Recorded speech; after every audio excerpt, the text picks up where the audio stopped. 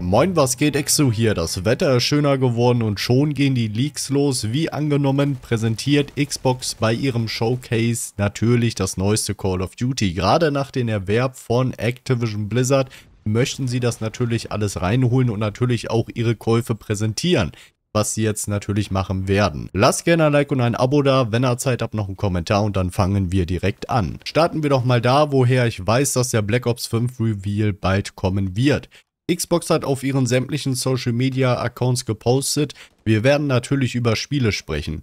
Schaltet ein zum Xbox Game Showcase, gefolgt von, in Klammern gesetzt, geheim, Direct am 9. Juni um 19 Uhr. Das ist ein Sonntag. Dazu haben sie ein Bild gepostet. Hier einmal dazu das Xbox Game Showcase Logo und auf der rechten Seite sehen wir das Cerberus Logo. Das Cerberus Logo kennen wir aus verschiedenen Leaks. Das kann ich euch jetzt nicht nochmal einblenden, weil dann das Video natürlich gestrikt wird. Was ich euch aber einblenden kann, ist schon mal das hier. Das ist nämlich ein Data Mining Text, was sie in den vorherigen Updates rausgefunden haben. Einmal Cerberus Multiplayer, Cerberus Campaign, dann nochmal das Wort Cerberus in ganz, ganz vielen Sachen Sachen. Und dann haben wir auch noch Ingame Store slash Category Cerberus. Das wird dann höchstwahrscheinlich der Pre-Order sein. Und wie gesagt, dieses Logo war in den Spieldaten schon drin. Kann ich jetzt leider nicht einblenden, aber hier sehen wir schon mal, die Game-Logos, sprich von Call of Duty und von Black Ops sind durchgestrichen. Und da unten rechts wird höchstwahrscheinlich Activision stehen, was auch durchgestrichen ist. Da wollen sie natürlich erstmal ein bisschen Marketing betreiben. Wir werden natürlich schon ich sag mal, noch früher Bescheid gegeben bekommen, yo, das ist jetzt hier ein Call of Duty Showcase. Was aber schon mal ziemlich wichtig ist, dass wir einen eigenen Direct bekommen. Also es ist eine direkte Übertragung von Xbox aus, welches separat Call of Duty behandeln wird. Das finde ich schon mal sehr, sehr wichtig. Das bedeutet, man kann sich auf eine eigene Show gefasst machen und Call of Duty wird nicht einfach zwischen den ganzen anderen AAA-Games irgendwo zwischengequetscht. Das ist für mich schon mal sehr, sehr wichtig und das zeigt auch, dass Xbox bzw. Microsoft die Call of Duty-Marke sehr, sehr ernst nimmt. Das ist ja immer noch ein Verkaufsschlager vor dem Herrn. Das Spiel, das wird massenhaft verkauft, auch wenn einige Leute sagen, yo, Call of Duty ist tot. Nee, Call of Duty stärker denn je und vor allem dann noch mit Microsoft, mit dem Marketing, das könnte richtig geil werden. Die erste Frage ist jetzt ja natürlich, was ist da genau durchgestrichen? Hätten wir oben einmal das Call of Duty-Logo, welches durchgestrichen ist. Das haben Fans oder die Community auf Twitter schon herausgefunden, haben sie einfach so ein paar Logos drüber gelegt und haben gesagt, yo, Call of Duty ist es schon mal. Und unten innerhalb der Mitte haben wir einmal das Black Ops 5 Logo. Da ist es nämlich so jetzt, dass das Spiel nicht mehr Black Ops Gulf vorheißen wird, sondern dass wir jetzt wirklich den direkten Nachfolger von Black Ops 4 bekommen werden. Ist für uns als Spieler erstmal, ich würde sagen, komplett egal. Das Einzige, was man hier sagen kann, ist, dass sie das wahrscheinlich geändert haben. Bei Black Ops 5 ist natürlich ein besserer Name als jetzt Black Ops Gulf vor. Ich würde mal sagen, so hype-technisch macht das keinen großen Unterschied, würde ich jetzt einfach mal behaupten.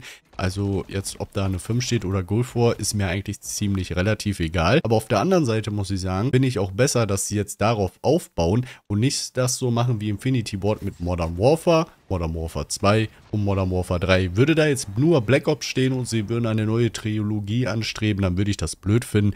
Aber so ist es doch schon mal sehr gut gelöst. Aber natürlich haben wir noch viele weitere Fragen. Unter anderem kann man es dann direkt pre-ordern. Kriegen wir einen Ingame-Bonus für das jetzige Modern Warfare 3, wieder ein Skin oder sonstiges? Wie sieht es aus mit dem Game Pass? Werden sie da auch was zu sagen? Was sehen wir überhaupt vom neuen Call of Duty Black Ops 5? Weil man muss ja sagen, dieses Spiel ist das längste Call of Duty, was jemals in der Entwicklung war. Dieses Spiel ist, wenn es rauskommt, glatte vier Jahre in Entwicklung und da können wir uns auf jeden Fall auf einiges gefasst machen.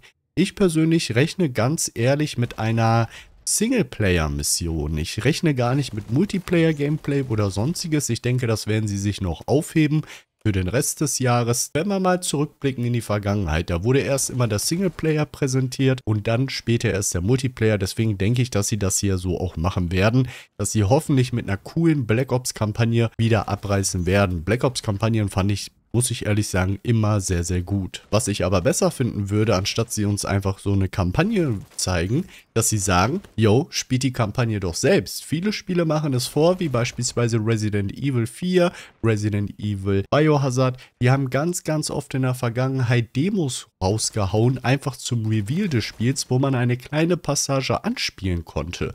Und das wäre zum Beispiel auch ein wichtiger Schritt für Call of Duty, weil dieser Test natürlich erstmal Marketing, Hype bringt, aber auf der anderen Seite auch können sie mal die Stabilität testen. Jo, wie sieht es aus bei den Kunden auf dem PC, auf der Konsole? Was sind da für technische Schwierigkeiten vorhanden?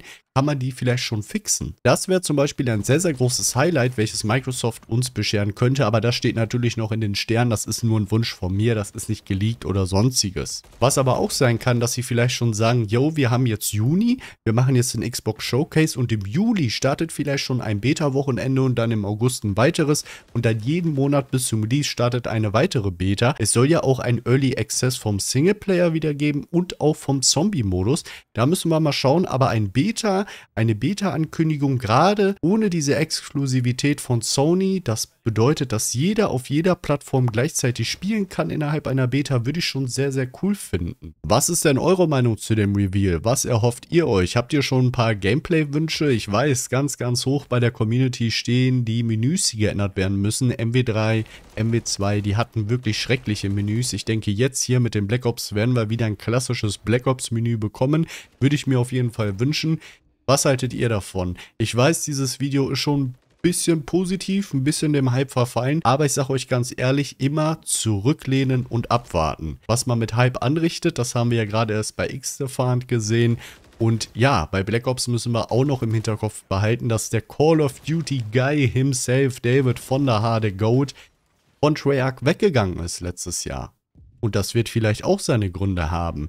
Vielleicht ist Black Ops 5 nicht so gut, deswegen ist er gegangen. Er durfte nicht frei entscheiden, keine Ahnung. Das ist jetzt wieder ein bisschen Stimmung machen, möchte ich gar nicht machen. Ich möchte euch damit nur sagen, entspannt euch, lehnt euch zurück und genießt ganz entspannt die Show die am 9. Juni am Sonntag um 19 Uhr stattfinden wird. Dazu muss man auch noch sagen, dass sich ja sehr, sehr stark Call of Duty gewandelt hat in den letzten ein, zwei Jahren und vor allem auch in den letzten Monaten. Nach diesem wirklich miserablen Modern Warfare 2 haben sie meiner Meinung nach ein sehr, sehr gutes Multiplayer MW3 abgeliefert und sie sind ja immer noch dabei, sich stetig zu verbessern.